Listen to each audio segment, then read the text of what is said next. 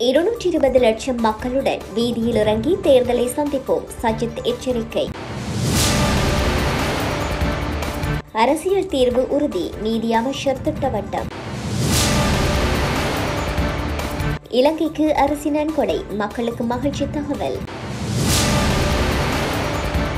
தேநீர் விருந்துபசாரத்தை நடத்த வேண்டாம். ரணிலின் பகிரங்க எச்சரிக்கை. ஸ்ரீலங்காவின் நிதியமைச்சராக மீண்டும் அலி ஷப்ரே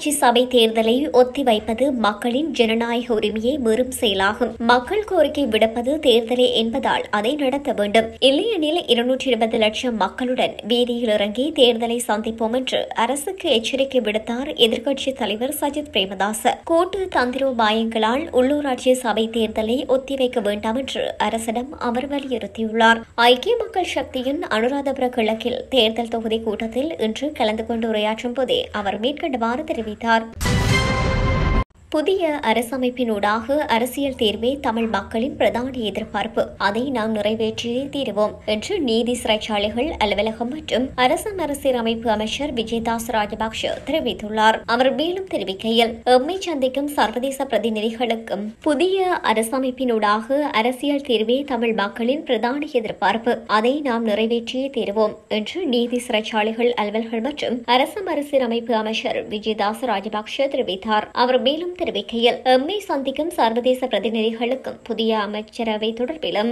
தேசிய இன பிரச்சினைகளுக்கான அரசியல் தேர்வு தொடர்பிலும் முக்கியத்துவம் வழங்கி கலந்துரையாடி வருகின்றனர். எனவே இந்த கருமத்தில் நாம் முழு அர்ப்பணிப்புடன் செயற்படுவோம். ஒரு வருடத்திற்குள் தீர்வு காண அனைத்து பணிகளும் நிறைவுக்கு கொண்டு வர வேண்டும் என்பதை ஜனாதிபதி ரணில் விக்ரமசிங்க எம்மிடம் தெரிவித்துள்ளார். அதற்கு முன் கைதிகள் விவகாரம் காணி விவகாரம் தொடர்பில் ஆராய்ந்து அதற்குரிய தீர்வுகளை அரசு வழங்கும். அதன் ஒரு அங்கமாகவே கைதிகள் சிலர் விடுவிக்கப்பட்டுள்ளனர். ஏனையோரும் விரைவில் விடுவிக்கப்படுவார்கள். நல்லாட்சி அரசில் தேர்வு விடயத்திற்கு தமிழ் தேசிய கூட்டமைப்பு முழுமையான ஒத்துழைப்பை வழங்கியது. ஆனால் தற்போது கூட்டமைப்பின் ஒத்துழைப்பு நமக்கு கிடைக்கவில்லை என்று அர்த்தமில்லை. ஒத்துழைப்பு கிடைக்கின்றது ஆனால் அந்த ஒத்துழைப்பு முழுமையான ஒத்துழைப்பாக இருக்க வேண்டும்.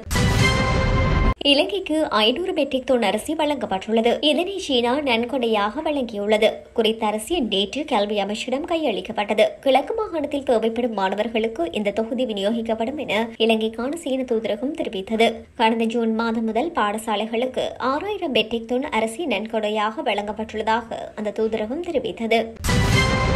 நாட்டின் பொருளாதார பிரச்சினை காரணமாக நாடாளுமன்ற அமைச்சர்கள் மற்றும் ஏனைய விருந்தினர்களுக்கான தேநீர் விருந்துவசாரத்தை நடத்த வேண்டாம் என பணிப்புரை விடுக்கப்பட்டுள்ளது.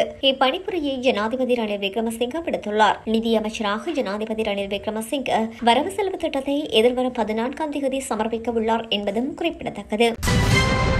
ஸ்ரீலங்காவின் புதிய நிதியமைச்சராக அலிஷப்ரின் நியமிக்கப்படவுள்ளார் என தகவல் வெளியாகியுள்ளது. அரசியலமைப்பின் இருபத்தி இரண்டாவது திருத்த சட்டம் நிறைவேற்றியுள்ளதால் அதன் பொறுப்புகளை வைத்திருந்த ஸ்ரீலங்கா அதிபர் ரணில் விக்ரமசிங்க அதனை அலிஷப்ரிக்கு வழங்க இணக்கம் தெரிவித்துள்ளதாக அவர் குறிப்பிட்டுள்ளார். இதற்கமைய ரணிலின் பொறுப்பில் உள்ள நிதி பதவியை அலிஷப்ரிக்கு வழங்க ரணில் விக்ரமசிங்க தீர்மானித்துள்ளதோடு தற்பொழுது வெளிவிவகார அமைச்சராக அலிஷப்ரின் நியமிக்கப்படுகின்றமை குறிப்பிடத்தக்கது.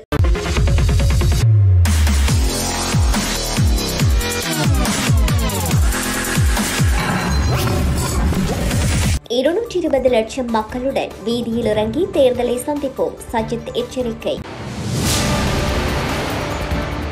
அரசியல் தீர்வு உறுதி. நீதி அமைச்சர் திட்டவட்டம். இலங்கைக்கு அரசு நன்கொடை. மக்களுக்கு மகிழ்ச்சி தகவல். தேநீர் விருந்துபசாரத்தை நடத்த வேண்டாம். ரணிலின் பகிரங்க எச்சரிக்கை. ஸ்ரீலங்காவின் நிதியமைச்சராக மீண்டும் அலி ஷப்ரே